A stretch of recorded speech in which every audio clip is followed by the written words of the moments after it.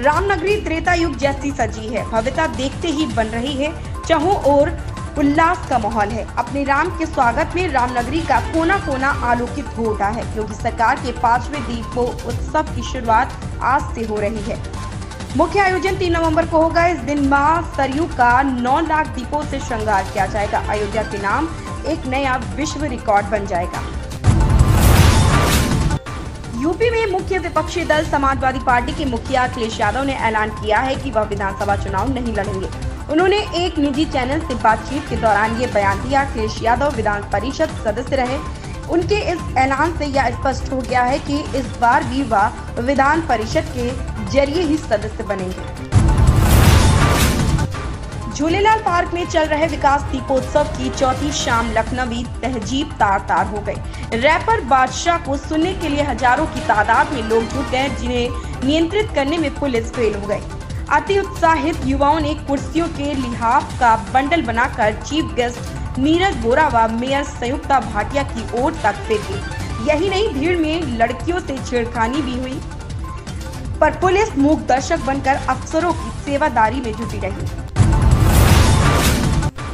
उत्तर प्रदेश के विभिन्न ब्लॉकों में बनाए गए क्लस्टर में शामिल गाँवों में सोमवार से कोरोना टीकाकरण के शिविर लगेंगे। इन क्लस्टर के गाँवों को तीन हिस्से में बांटकर टीकाकरण किया जाएगा और उसी हिसाब से उनकी समीक्षा की जाएगी। सोशल मीडिया पर हुई ट्रोलिंग के बाद सब सब्यसाची ने अपना मंगलसूत्र का विज्ञापन वापस ले लिया है। दरअसल मंगलसूत्र के विज्ञापन के लिए सब्यसाची ने अर्धनंग मॉडल का उपयोग किया था। जिसके बाद मध्य प्रदेश के गृह मंत्री नरोत्तम मिश्रा ने मुखर्जी के विज्ञापन पर आपत्ति जताई थी। उन्होंने सब्यसाची को 24 घंटे का अल्टीमेटम दिया था, जिसके बाद रविवार देर रात सब्यसाची ने अपना यह विवादित विज्ञापन हटा दिया है।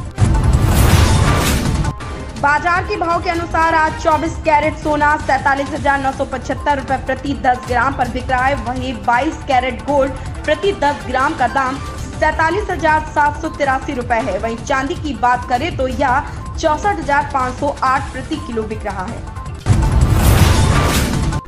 ए के फोर्टी सेवन भारतीय सेना का बुनियादी हथियार है। स्वदेशी फर्में इस हथियार को अपग्रेड करेंगे, जिससे यह काम करने में और भी ज़्यादा आसान हो जाएगी। अभी यह कंपनी छोटी संख्या में ए के फोर्टी सेवन को अपग्रेड करेगी, लेकिन बाद में इससे और ऑर्डर भी मिल सकते हैं।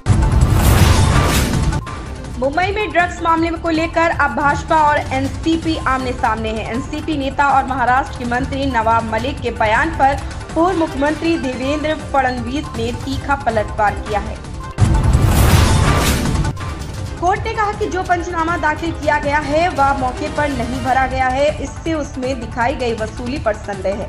आदेश में कहा गया है कि सिर्फ़ व्हाट्सएप चैट से यह साबित नहीं होता है कि अजीत कुमार ने ही ड्रग्स की सप्लाई की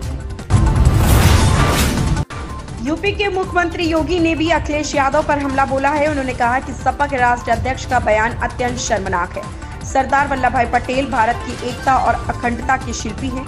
कल सपा प्रमुख की विभाजनकारी मानसिकता सामने आ गई है, जब उन्होंने जिन्ना को समकक्ष रख के सरदार वल्लभ भाई पटेल की तुलना की।